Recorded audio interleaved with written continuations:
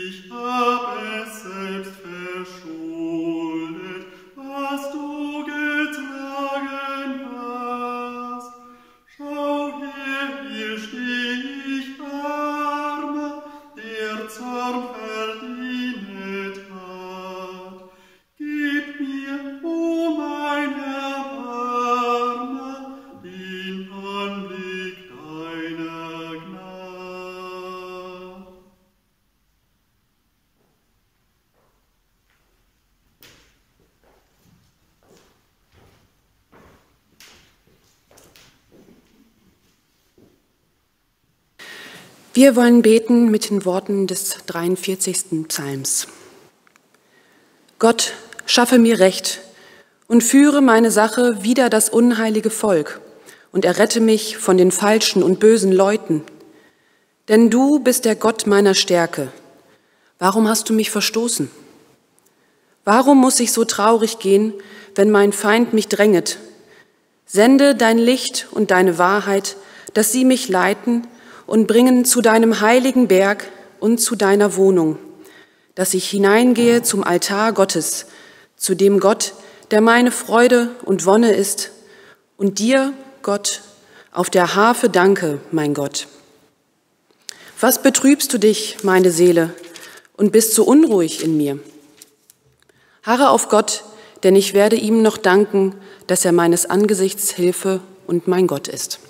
Amen. Wir wollen beten. Ewiger, barmherziger Gott, du wirst verwundbar in Jesus Christus, deinem Sohn. In seiner Ohnmacht bist du mit deiner Kraft und deiner Liebe für uns da. Wir bitten dich, führe uns durch seinen Tod zum Leben. Darum bitten wir dich im Vertrauen auf unseren Erlöser, der mit dir und dem Heiligen Geist lebt und regiert von Ewigkeit zu Ewigkeit. Amen.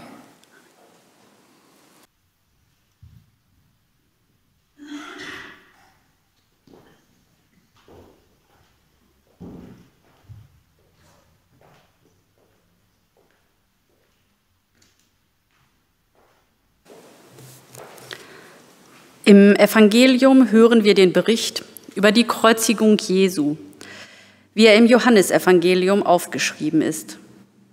Jesus ist zum Tode verurteilt worden wegen des Vorwurfs, er habe sich selbst zu Gottes Sohn gemacht. Nun übergibt ihn der römische Statthalter Pilatus zur Vollstreckung der Strafe. Hören wir den Bericht aus dem 19. Kapitel des Johannesevangeliums. Jesus wurde abgeführt. Er trug sein Kreuz selbst aus der Stadt hinaus zu dem sogenannten Schädelplatz. Auf Hebräisch heißt der Ort Golgotha. Dort wurde Jesus gekreuzigt und mit ihm noch zwei andere, auf jeder Seite eine. Jesus hing in der Mitte. Pilatus ließ ein Schild am Kreuz anbringen. Darauf stand, Jesus, der Nazaräer, der König der Juden. Viele Juden lasen das Schild, denn der Ort, wo Jesus gekreuzigt wurde, lag nahe bei der Stadt. Die Aufschrift war in hebräischer, lateinischer und griechischer Sprache abgefasst. Die führenden Priester des jüdischen Volkes beschwerten sich bei Pilatus. Schreibe nicht der König der Juden, sondern dieser Mann hat behauptet, ich bin der König der Juden. Pilatus erwiderte, was ich geschrieben habe, habe ich geschrieben. Nachdem die Soldaten Jesus ans Kreuz genagelt hatten, teilten sie seine Kleider unter sich auf. Sie waren zu viert und jeder erhielt einen Teil. Dazu kam noch das Untergewand. Das war in einem Stück gewebt und hatte keine Naht. Die Soldaten sagten zueinander, das zerschneiden wir nicht, wir lassen das Los entscheiden, wem es gehören soll. So ging in Erfüllung, was in der heiligen Schrift steht. Sie verteilten meine Kleider unter sich und werfen das Los über mein Gewand. Genau das taten die Soldaten. Nahe bei dem Kreuz, an dem Jesus hing, standen seine Mutter und ihre Schwester. Außerdem waren Maria, die Frau von Klopas, und Maria aus Magdala dabei. Jesus sah seine Mutter dort stehen. Neben ihr stand der Jünger, den er besonders liebte. Da sagte Jesus zu seiner Mutter, Frau, sieh doch, er ist jetzt dein Sohn. Dann sagte er zu dem Jünger, sieh doch, sie ist jetzt deine Mutter. Von dieser Stunde an nahm der Jünger sie bei sich auf. Nachdem das geschehen war, wusste Jesus, dass jetzt alles vollendet war. Damit in Erfüllung ging, was in der heiligen Schrift stand, sagte er, ich bin durstig. In der Nähe stand ein Gefäß voll Essig. Die Soldaten tauchten einen Schwamm hinein. Dann steckten sie ihn auf einen Isopstängel und hielten ihn Jesus an den Mund. Nachdem Jesus etwas von dem Essig genommen hatte, sagte er, Jetzt ist alles vollendet. Er ließ den Kopf sinken und starb.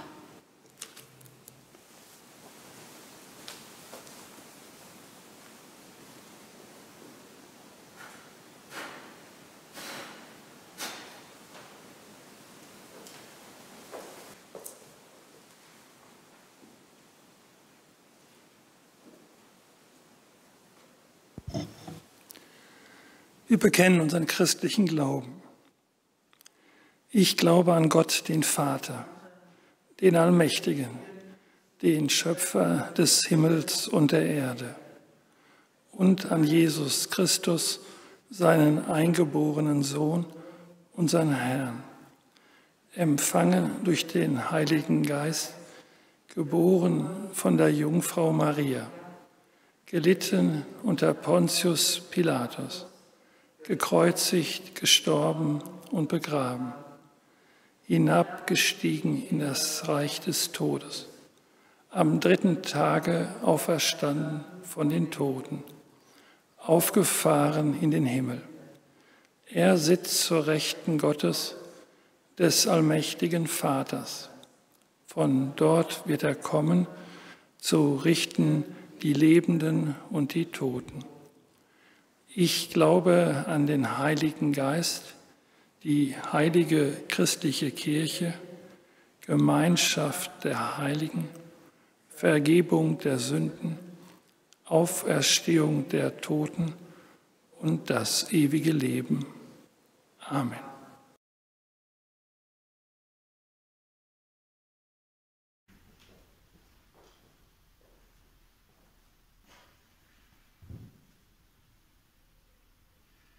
Yeah.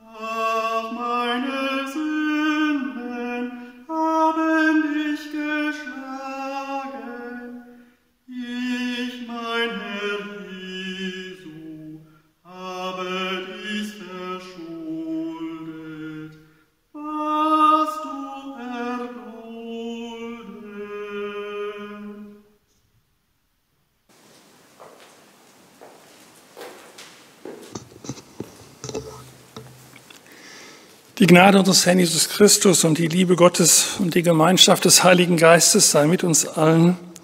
Amen.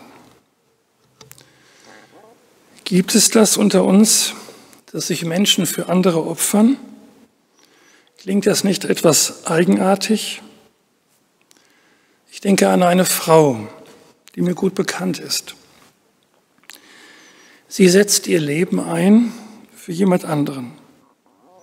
Nicht wie manche, die wie Gaffer vorbeifahren, wenn sie einen Unfall sehen, vielleicht sogar noch das Handy zücken und die Lust an dem Schauer haben, sondern die anpacken, die vielleicht ihr eigenes Leben riskieren oder ihre Gesundheit, um anderen zu helfen. Diese Frau, sie ist Mutter. Sie hat mehrere Söhne und ihr ältester Sohn, der ist krank, schon seit einigen Jahren. Seine Krankheit verschlimmert sich.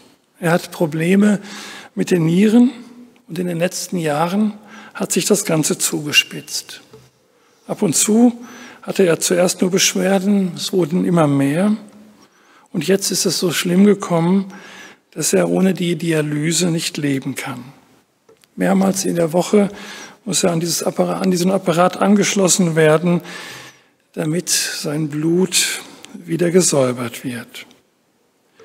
Und jetzt taucht die schwere Frage auf, was kann man tun? Mit einer Spenderniere könnte geholfen werden, aber die Wahrscheinlichkeit, dass man eine passende Niere findet, ist sehr, sehr gering. Und dann kam die Frage, kann man nicht noch andere Wege finden? Die Familie wurde untersucht und es ist wahrscheinlich, dass gerade in der eigenen Familie es Menschen gibt, wo die Abstoßungsmechanismen der Organe nicht so stark sind. Und das heißt, dass man gute Chancen hat für eine Transplantation. Und bei dieser Mutter war es so oder ist es so. Da gibt es gute Voraussetzungen. dass sie, wenn sie ihrem Sohn eine Niere gibt von ihren beiden, ein Weiterleben, ein leichteres Leben möglich ist. Wie soll sie handeln? Das ist ja fast selbstverständlich, dass eine Mutter eine Niere gibt, um das Leben ihres Sohnes zu erhalten oder vielleicht zumindest zu verbessern. Wenn wir Menschen lieb haben und die nah mit uns verbunden sind, dann fällt es uns nicht schwer, ein Opfer zu geben für jemand anders. Aber wie ist das, wie ich gerade schon erwähnt habe, wenn wir vorbeifahren und einen Unfall sehen und uns vielleicht selber in Gefahr bringen, um dort zu helfen? Wie ist es bei Leuten, die uns gar nicht so lieb sind, die vielleicht weit weg sind? Oder noch zugespitzter, die wir gar nicht mögen? Ein Opfer für die zu bringen? Der Bibeltext für diesen heutigen Karfreitag, der nimmt etwas auf von dieser Thematik, dass jemand sein Leben gibt, aufopfert. Es geht um den sogenannten Gottesknecht bei Jesaja. Jesaja beschreibt diesen Menschen. Es ist eine Person, die leidet für andere, die das Leben hingibt, damit andere leben können. Ich lese uns den Abschnitt aus Jesaja 52 und 53. Dort wird er beschrieben, dieser Gottesknecht. Siehe, Meinem Knecht wird's gelingen, er wird erhöht und sehr hoch erhaben sein. Wie sich viele über ihn entsetzen, so entstellt sei er aus. Nicht mehr wie ein Mensch und seine Gestalt nicht mehr wie das eines Menschenkindes. So wird er viele Völker in Staunen versetzen, dass auch Könige ihren Mund vor ihm zuhalten. Denn was ihnen nie erzählt wurde, das werden sie nun sehen und was sie nie gehört haben, nun erfahren. Aber wer glaubt dem, was uns verkündet wurde? Und an wem ist der Arm des Herrn offenbart? Er schoss auf vor ihm wie ein Reis und wie eine Wurzel aus dürrem Erdreich. Er hatte keine Gestalt und Hoheit. Wir sahen ihn, aber da war keine Gestalt, die uns gefallen hätte. Er war der allerverachtetste und unwerteste, voller Schmerzen und Krankheit. Er war so verachtet, dass man das Angesicht vor ihm verbarg. Darum haben wir ihn für nichts geachtet. Für wahr. Er trug unsere Krankheit und laut lud auf sich unsere Schmerzen. Wir aber hielten ihn für den, der geplagt und von Gott geschlagen und gemartert wäre. Aber er ist um unserer Missetat willen verwundet und um unserer Sünde willen zerschlagen.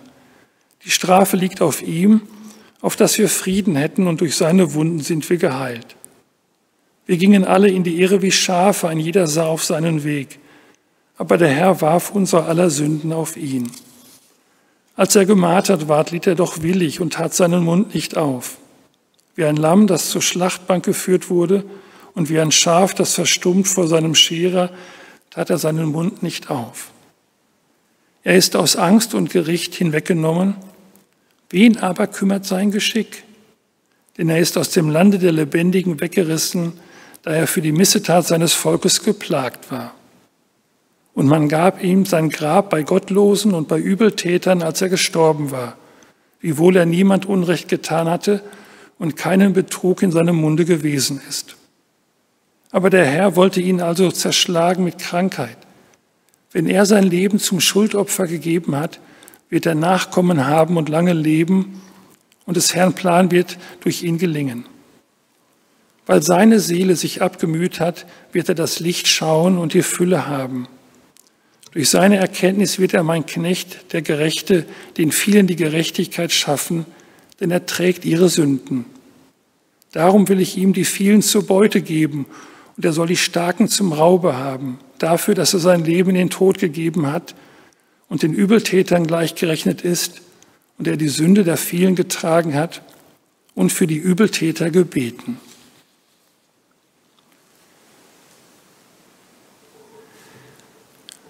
Die christliche Gemeinde hat in diesen Worten des Propheten Jesaja, in diesem Gottesknecht, das Leben und das Leiden Jesu Christi wiederentdeckt. Wie eine Vorlage für Jesu Leben und Leiden wirkte dieser Text über den Gottesknecht bei Jesaja.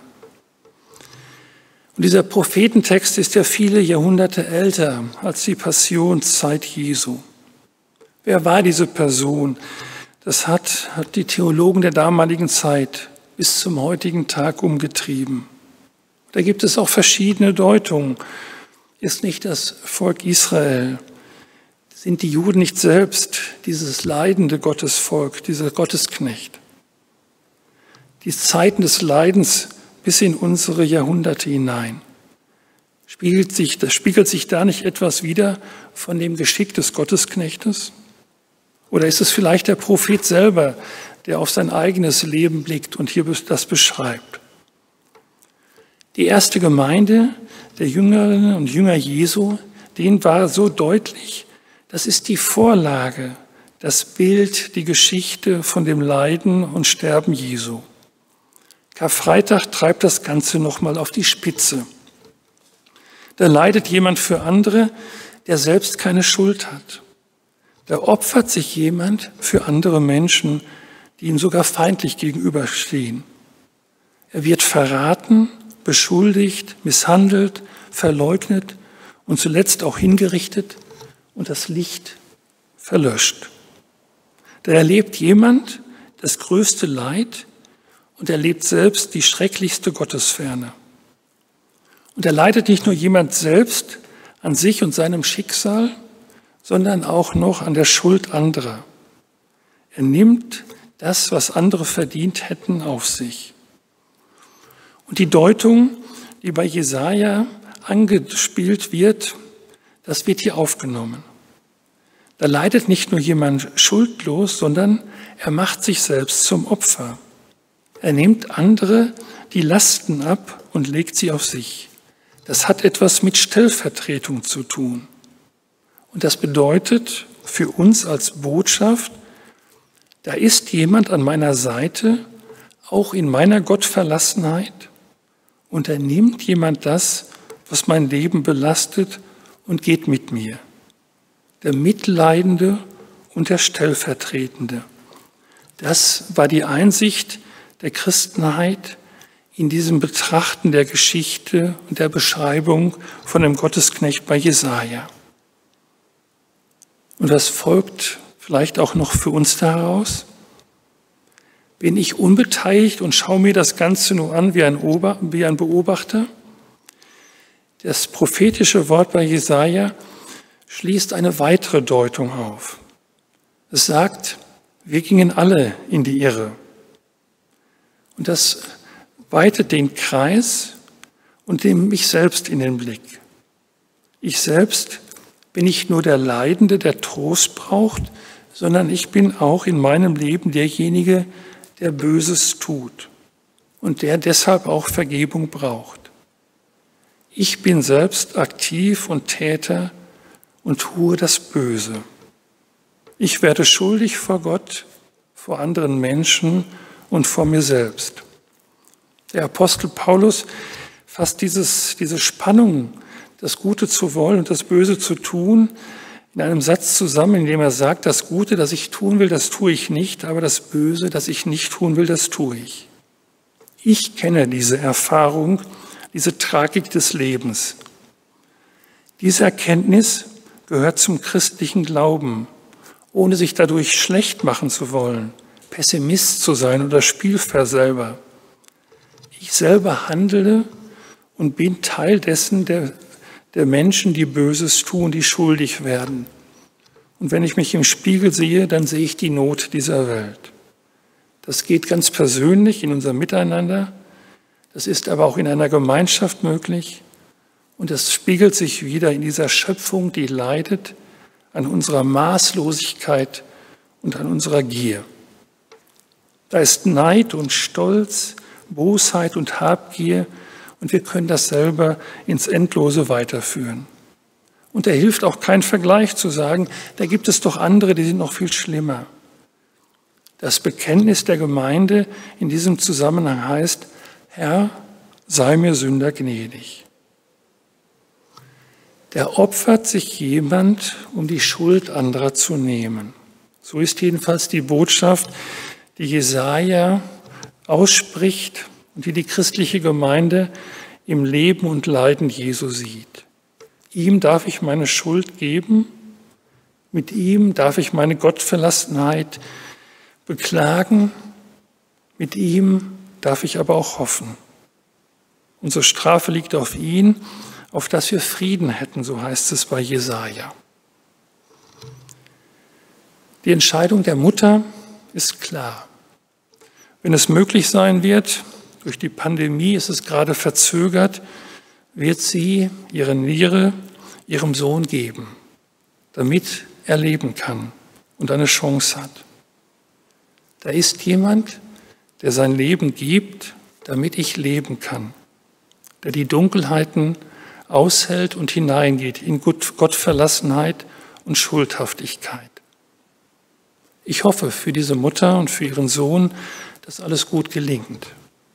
Und ich hoffe für uns, dass der Tod nicht das letzte Wort hat und nicht die Schuld und nicht die Gottverlassenheit.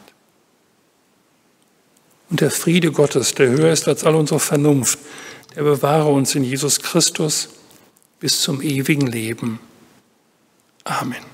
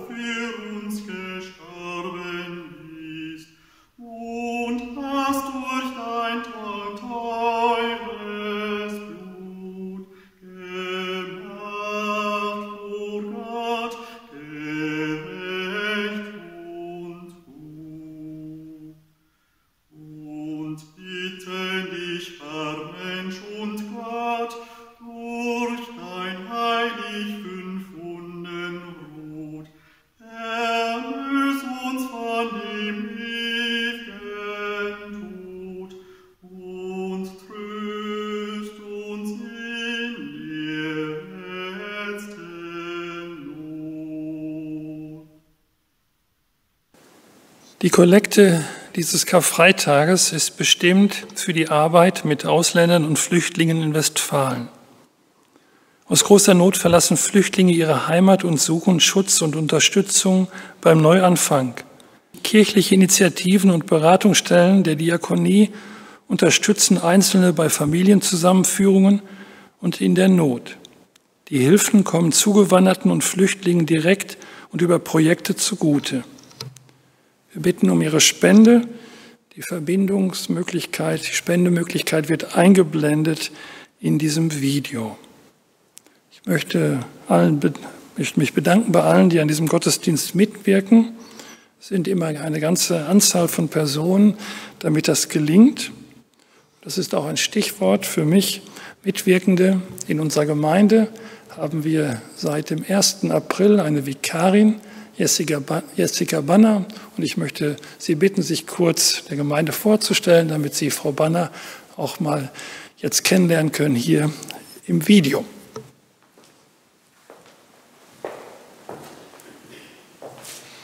Ja, hallo. Mein Name ist Jessica Banner, wie gerade schon ähm, erwähnt. Und ich bin also seit gestern, seit dem 1.4. offiziell Vikarin hier in der Gemeinde in Raden.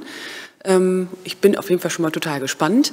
Leider müssen wir wahrscheinlich im ähm, häufigen Gemeindekontakt noch etwas aufeinander warten, da ich die erste Zeit meines Vikariats ähm, in der Schule verbringe.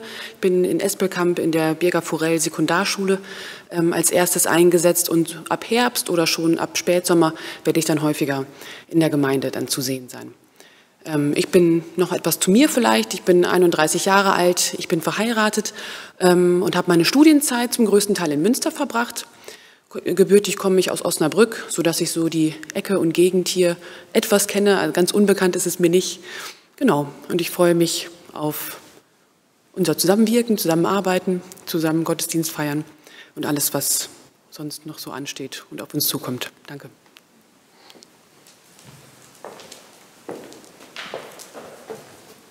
Ja, herzlich willkommen, Frau Banner, hier in dieser Gemeinde. Wir freuen uns, dass Sie Vikarin hier sind und wir hoffen auf gute Begegnungen gegenseitig.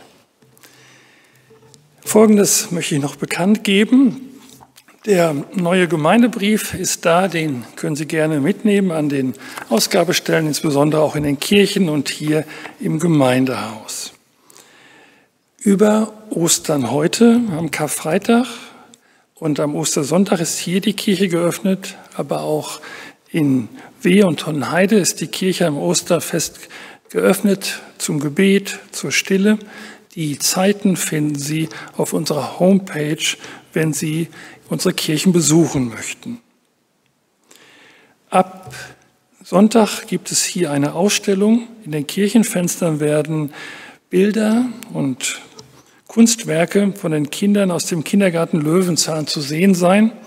Und damit wir den Corona-Bedingungen entsprechend handeln, werden die Bilder von außen zu sehen sein. Also die Fenster sind unsere Ausstellungsfenster und von außen darf man die Kunstwerke dann bestaunen. Der Gottesdienst am Ostersonntag ist schon morgens früh ab 10 Uhr im Netz, sodass Sie schon im, als Ausnahme von unserer Regel schon morgens den Gottesdienst zum Osterfest sehen können. Auch dazu laden wir Sie herzlich ein, mit uns auf diese Weise zusammen das Osterfest im Gottesdienst zu feiern. Und nun hören wir das nächste Lied und Sie dürfen auch gerne zu Hause mitsingen behüt uns auch für Sünd und Schand.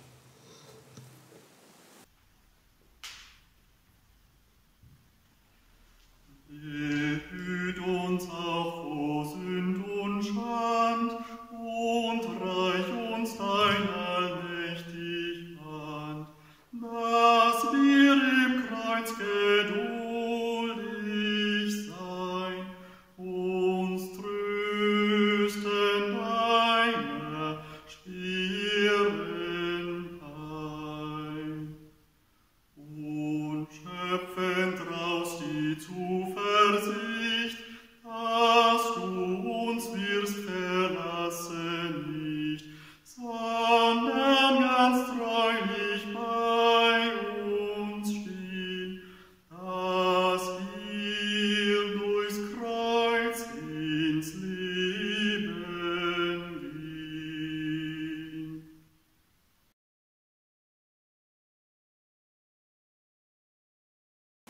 Wir wollen Fürbitte halten.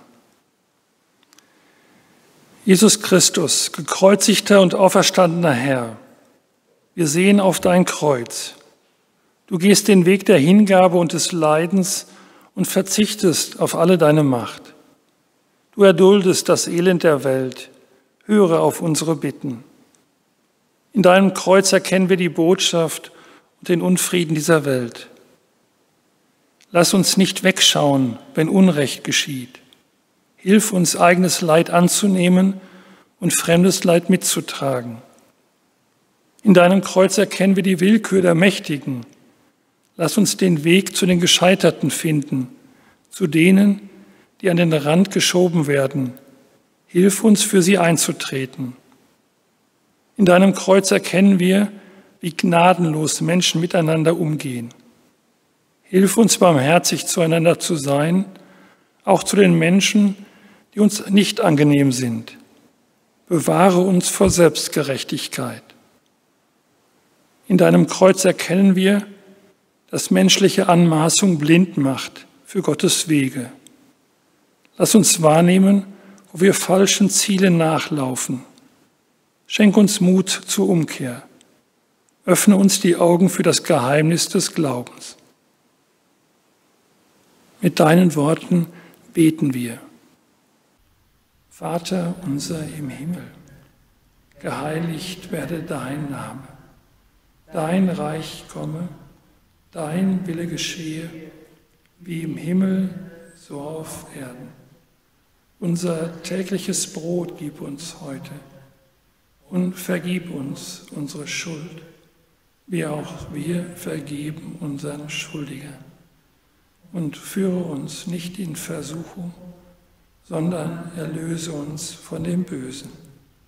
Denn dein ist das Reich und die Kraft und die Herrlichkeit in Ewigkeit. Amen.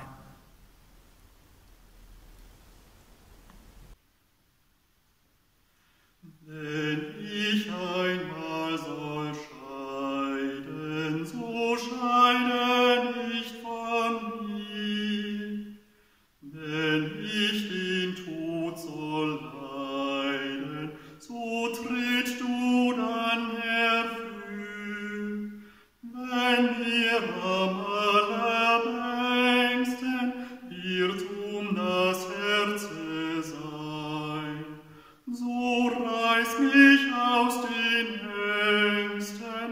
Kraft deiner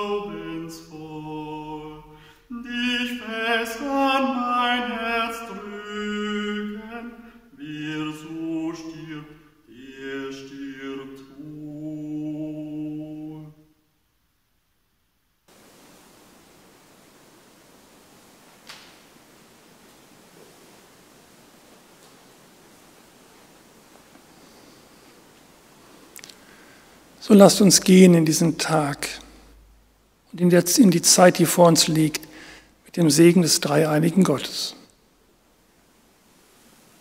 Und es segnet euch Gott, der Allmächtige und der Barmherzige, der Vater, der Sohn und der Heilige Geist. Amen.